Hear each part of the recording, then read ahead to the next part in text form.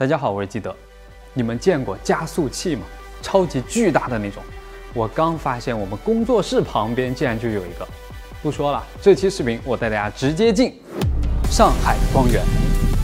上海光源是中国大陆第一台中能第三代同步辐射光源，由国家发改委、中国科学院和上海市人民政府共同投资建设，坐落在离我们工作室很近的张江科学城。是的，就在这个圆形建筑里，藏着一个可以制造各种光的加速器。我知道你很急，但在进去之前，请先允许我从宇宙学的角度切入，给大家介绍一下它的原理。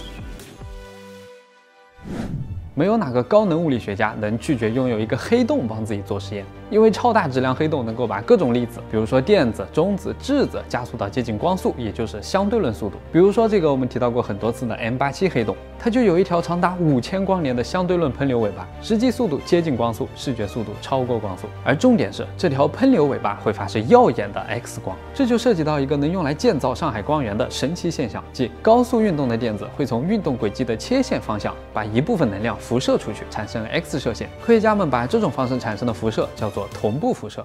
X 射线对很多领域的科学家都有用，而我们虽然还造不出黑洞，但我们可以把电子加速到相对论速度啊！而这就是我们身后的同步辐射光源干的事儿。整个光源可以简单分成四个部分，分别是一台一百五十兆电子伏电子直线加速器，一台全能量增强器，一台周长四百三十二米的电子储存环和分布四周的一堆光束线站。平时物理学家、化学家、生物学家们就待在这些线站里，利用高速电子射出来的各种光啊做实验。从大门走进来，首先看到的就是这些线站。上次我发动态的时候，有很多观众说，每次来这里就意味着没日没夜的做实验啊，累晕。这怎么行呢？我们现在就抓一个幸运儿，让他放松一下。你好，你看起来不忙啊？有没有可能我在思考？行，那你能不能带我混进加速器内部？好的，我们这边。等等，所以这里面有辐射是吗？当然，但肯定在可接受范围之内。怎么，你怕吗？怎么可能？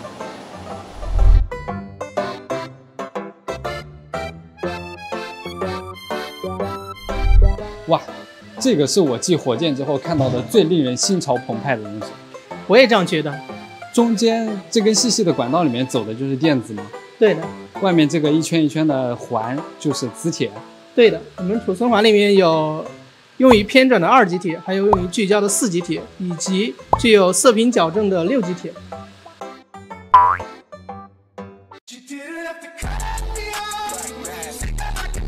感谢你的介绍，对不起，占用了你的工作时间。你不用道歉。拜拜。拜拜。接下来的问题是。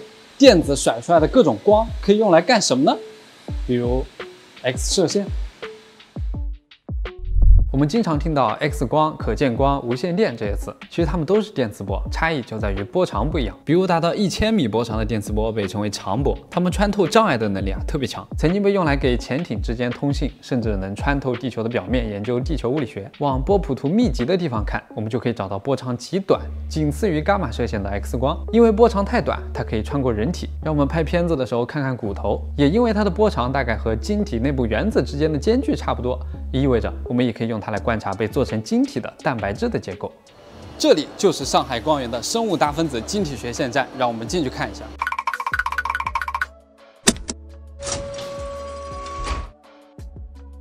大家看，在这里，工作人员会拿出已经提前制备好的蛋白质晶体，放进液氮储存罐里。一个罐子可以放二十个盘，每个盘里又可以放十六颗晶体。刚才工作人员放进去的就是这个东西。那么我的问题是，蛋白质晶体在哪里？蛋白质晶体就是在这个针状位置的顶端部分，顶端部分有一个环，就可以把晶体给套住、给网住、给抓住。放进去之后，X 射线会从这边进来，然后这台机械臂会把晶体从储存罐里面一个一个拿出来，放在这边的侧角头上面，用显微镜去看。注意，所有的操作都是全自动的，结果我们在外面的电脑屏幕上面看就行。这个就是刚刚针状尖尖端的它的图片，然后这个棍状就是蛋白质晶体。然后，那你知道为什么要用 X 光来照射蛋白质晶体吗？很简单呀，高中生物课就学过。蛋白质是由更小的氨基酸组成的，这氨基酸首先会站成一排，形成肽链啊，这一级结构，然后扭来扭去变成螺旋状或者叠起来什么的，形成二级结构。而这样简单的结构无法实现实际功能，真正的蛋白质一会儿螺旋，一会儿折叠，形成更复杂的三级结构。最后那些大一点的蛋白质还会把许多三级结构拼在一起，形成四级结构。你以为这就完了？蛋白质还会扭来扭去，变成不同的形态。啊，同一种蛋白质形成不同的构象，科学家研究到这里啊，头都大了。如此小，如此复杂，该怎么观察呢？普通显微镜依靠的是可见光，波长就比蛋白质大了几百倍，显然行不通。谁波长短的正正好啊？唯有 X 射线。就在这个平平无奇的小房间啊，研究人员已经通过利用 X 射线发表了超过一百篇 CNS 论文。二零一一到二零二零连续十年，发表论文总数在全球一百三十多条晶体学线站中排名第一。这几年关于病毒的蛋白质结构研究也很火，从2013年禽流感到埃博拉、新冠，这里的线站都研究过，为我国重大疾病防控事业做出了贡献。甚至针对癌症，中国第一个在美国上市的自主研发的抗癌新药泽布替尼，也是在这个线站做的研究。当然，用 X 射线去看蛋白质也有问题，就是需要把蛋白质做成晶体。那如果一种蛋白质无法结晶怎么办？很简单，国家蛋白质科学研究上海设施也在张江科学城。就在这栋建筑的旁边，那边提供了观察蛋白质的另外两种方案。我们现在就去看看。热知识啊，从天上往下看，蛋白质设施的这些建筑是一个问号。好，我身后的一个个小房间里就提供了观察蛋白质的第二种技术方案——冷冻电镜技术。现在就见证奇迹的时刻。哎，不好意思，在装修。看来我们这次没有缘分实际上手操作了，还是讲讲原理吧。二零一七年的诺贝尔化学奖专门颁给了三位开发冷冻电镜的科学家，我们正好可以通过这三位的工作来理解这种比较昂贵的仪器。首先是雅克迪波什，我们知道电子显微镜的工作原理是在内部绝对真空的环境中用电子束去轰击要观察的东西。但蛋白质内部是有水分子的，它们一处在真空环境中，液态水就会瞬间气化。如果我们和 X 射线的方法一样，把蛋白质冻成冰，冰又会在电子束的轰击中产生衍射，干扰最终的成像效果。雅克最终解决了这个问题，他抛弃常用的液氮，而是液态乙烷对蛋白质进行瞬间冷冻，快到连让样品结晶的时间都没有。这就是冷冻电镜中“冷冻”二字的由来。在此基础上，弗兰克开发出了一种图像处理技术，像给罪犯拍那种三视图照片一样，能把电镜拍摄的蛋白质不同角度的二 D 图像合成为三维结构模型。最后，亨德森于1990年终于成功利用电镜合成出了一种膜蛋白的三维结构。时至今日，冷冻电镜技术经过不断完善升级，已经成为最主流的一种观察蛋白质结构的方法，在结构生物学领域取得了诸多成果。如果说 X 射线线站给我的感觉是机械臂加冷库的管道，电镜是大冰箱，那么最后一处要探访的核磁共振就是大罐子啊！运气不错，那边没有在装修。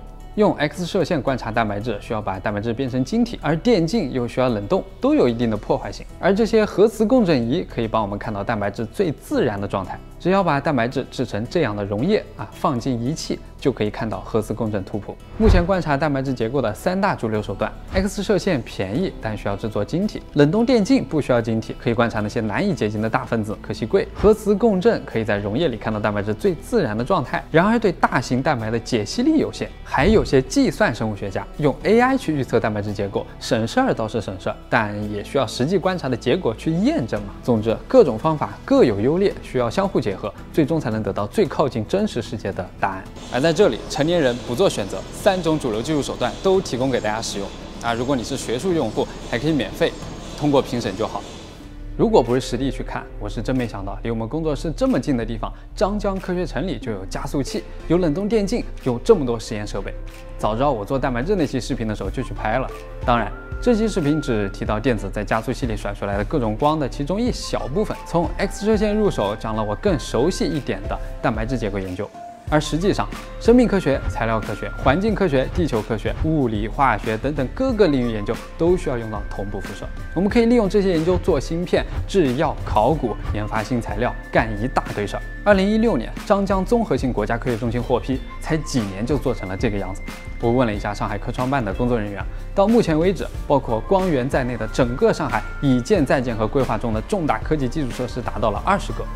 张江也正在加速建设全球规模最大、种类最全、功能最强的光子大科学设施集群，目标是做成国际科创中心。而且现在北京也正在建一个新的同步辐射光源。不知道为什么，我看到这些东西越来越多啊，就感觉很兴奋，跟看火箭一样。难道我是有什么巨物崇拜症吗？你们看这个巨大的圆形鹦鹉螺状建筑啊，看起来很科幻，但其实里面进行的每一个实验又都跟我们日常生活息息相关。人类文明就这样在我们不注意的时候一点点进步啊，这简直太有意思了。如果非要用一句话来结束今天这期视频，那我只想说，更多，我还想要更多。